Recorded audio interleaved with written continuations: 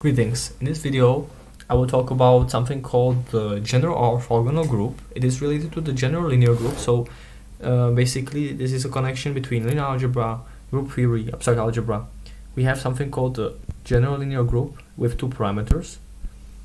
In general, is defined like um, the matrices that are n by n in size over the field of uh, f, which is the general notation for a field. It can be real numbers or complex numbers or some field in general.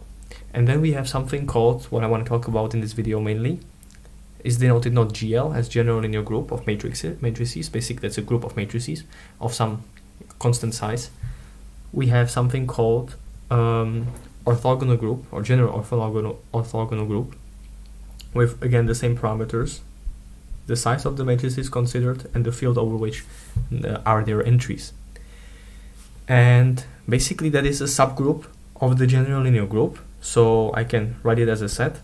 So it's A, uh, matrix is A in the general linear group for that particular size of matrices and that field over which the entries are such that and here here here the big point is so such that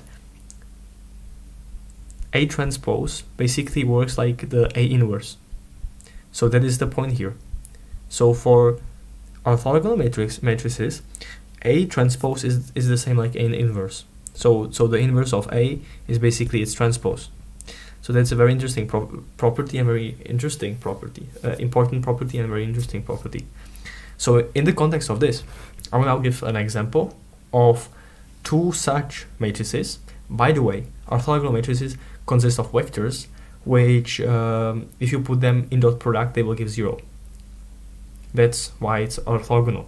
So they or originate from uh, basically um, looking for for for for uh, we, we can we can look for some basis uh, and have basis vectors that are perpendicular to each other. That will be called orth orthonormal orthonormal normal basis and then we can put that into a, a matrix and that matrix will have these properties these properties which is interesting so uh, of course these properties can be uh, taken into a greater um, lens in terms of explanation and context, but for this one, let's just look at the concrete example of it and see that actually they do form a group.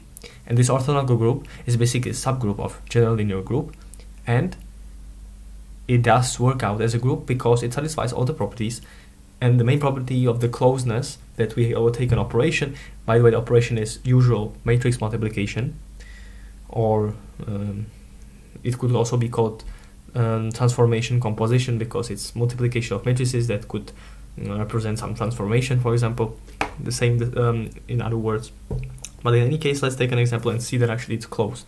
And so if we multiply two matrices, matrices that have the have the property that their vectors are orthogonal, uh, that their columns are orthogonal to each other, then the result will, can be such a matrix. And by the way, uh, there's also another important thing that for it to be right, the vectors that are in the columns should have unit length. So to make sure about that, if you think about some column vectors that will go in dot product and equal zero as a result, also make sure then then um, also make sure that uh, that you divide all the components by the vector's magnitude so that you um, make the um, vector's unit length. So then everything should be be fine. So let's say we have some matrix uh, 1 uh, over square root of 3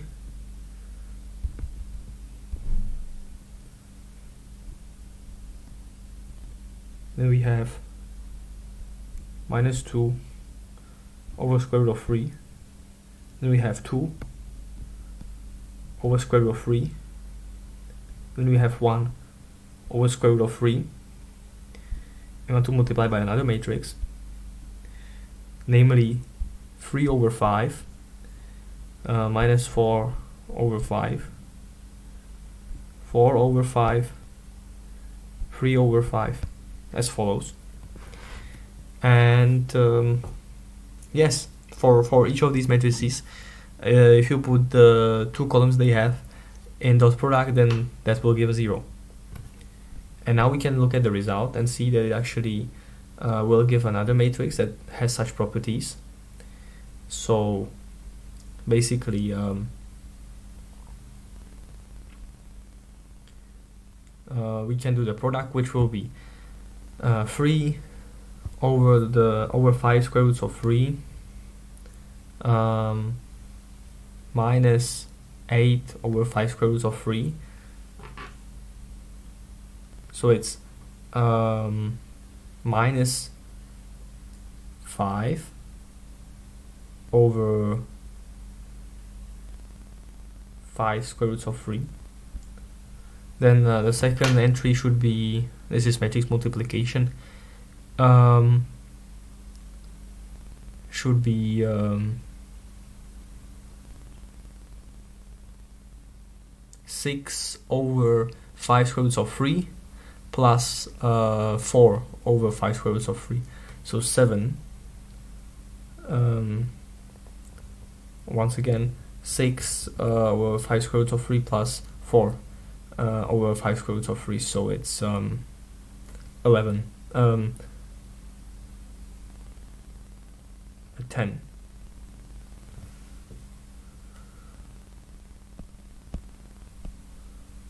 then we have for the second column uh, we have minus 4 over 5 square roots of 3 uh, minus 6 over uh, 5 square roots of 3 so it's minus 10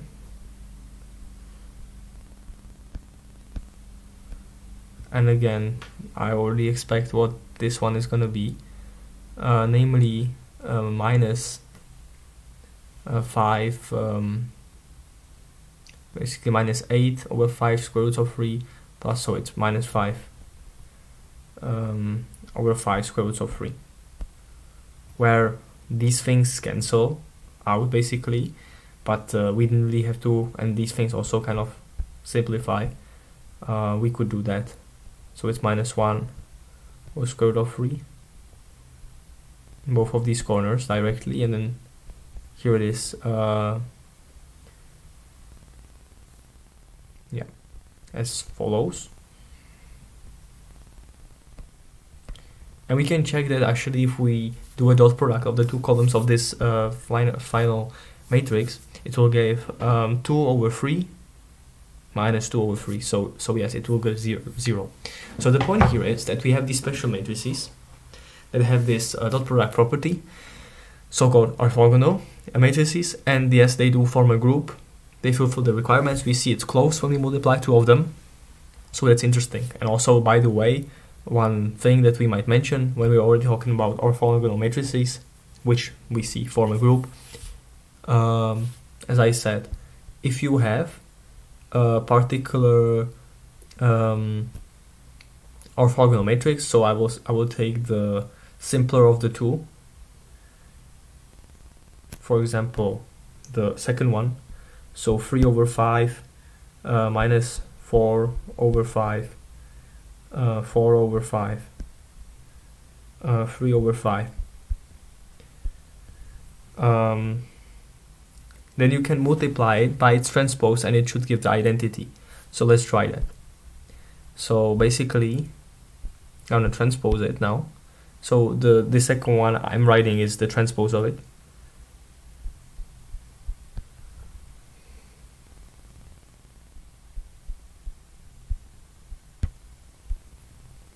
So what is going to be the result? Um, again, this is matrix multiplication, so it's gonna take a moment, but uh, in the end it should be uh, the identity matrix. So the first entry should be 1. So let's see how that goes. Um, taking the first row and the first column of the right matrix. So 9 over 25 minus 16 over 25. Um, once again, uh, 9 over 25 uh, plus 16 over 25 so uh, so uh, yes that is um, 1 that is right. Then the second entry below um, is gonna be um, 12 over 25 minus 12 over 25 so it's 0 then let's let's try the bottom right one.